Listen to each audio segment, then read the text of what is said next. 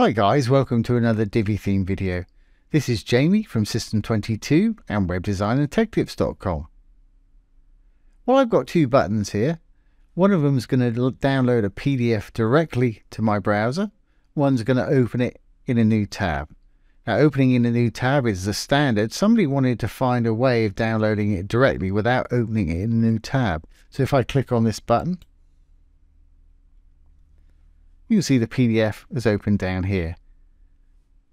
I'm using Google Chrome, so that's my default location.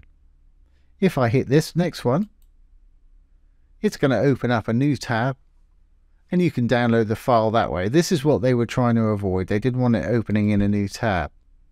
So I found the answers on actually Elegant Themes blog here, and I'll put this URL below the video. And if we roll down about a quarter of the way down, we're going to find the little bit of code that we want. It's just under turning your link into a Divi button. And we'll get back to this in a minute.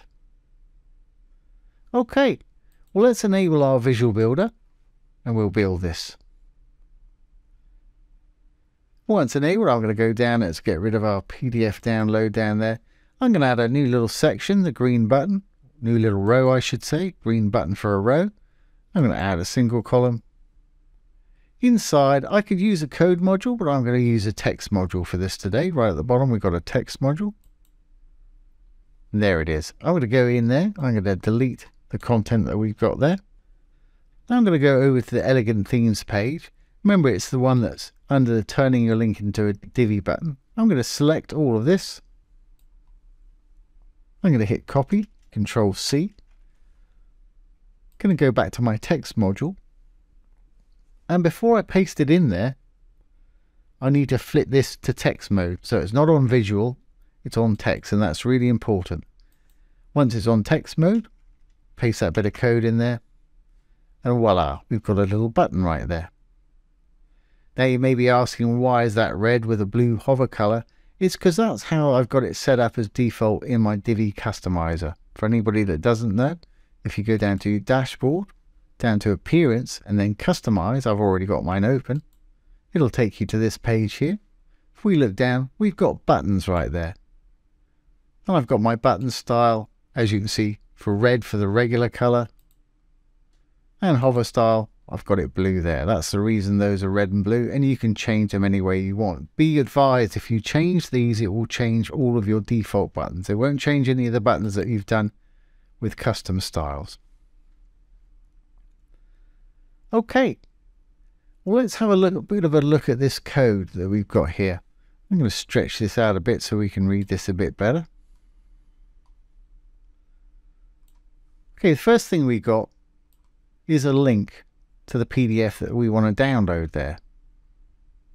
So that's the first thing we need to do. So to get a link to a PDF, we need to upload one to our WordPress. Again, let's go to our dashboard. We'll go down to Media Library. Once that's open, we can drag a PDF up here. Left click, drag and release. Once it's uploaded, just left click on it. That'll take you to this page. You can copy the URL to the clipboard by clicking on the button, or you can just copy and paste the normal way.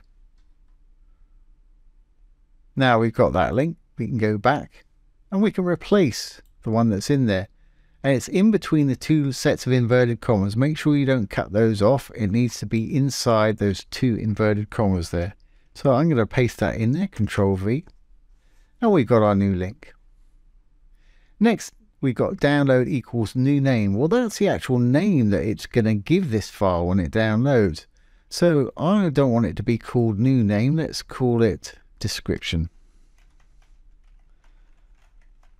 For anybody that's curious, it's just a draft of my uh, description for a YouTube video earlier on.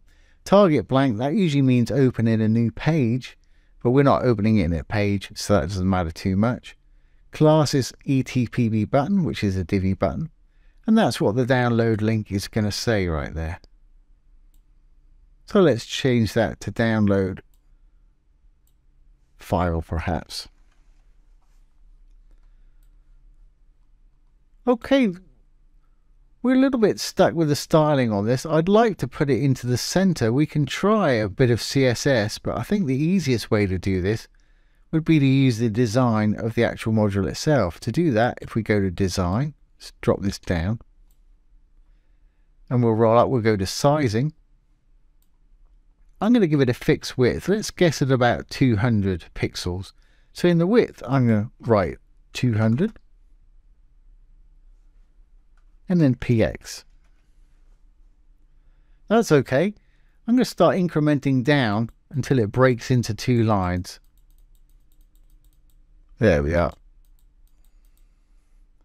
Right around 172, 171. That's okay. So 171's fine. Now I can position it in the middle if I want to, using the alignment there. And it's nicely in the middle of the row there for anybody that wants to position it. Now you can add custom styles by going inside it and giving it custom styles. Let's just make this a little bit skinny again. And to do that, you can go into your content. Again, you need to be in the text to see it. And right after the class button there, let's give it a gap and we can say style equals open two sets of inverted commas there. And inside, we can add any class we want. Perhaps we want it a bit wider. So let's say padding top, 15 pixels. We're overriding the regular styles. So to override, we need to use the important, which is exclamation mark, important. As you can see, it's added that to the top now. If we wanted to add the same to the bottom, just copy the padding top all the way to the end of the important. We need to put a semicolon on the end, make sure we can write another line.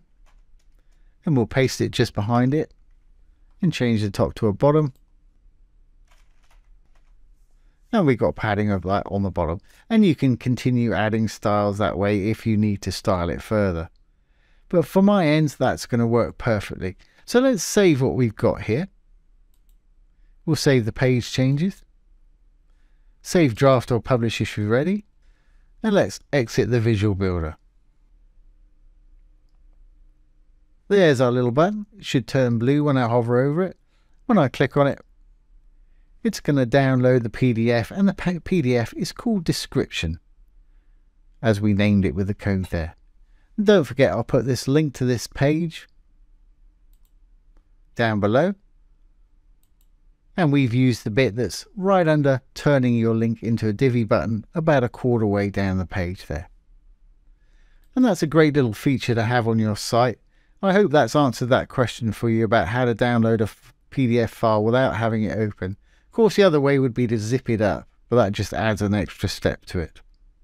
So I hope you enjoyed this today and found it useful. If you have, please give it a thumbs up, ring the bell, comment, share, and subscribe to our YouTube channel. Don't forget if you have any questions, pop them down below and I'll do my best to answer them for you or make a demo video. Once again, this has been Jamie from System22 and WebDesignAndTechTips.com. Thanks for watching. Have a great day.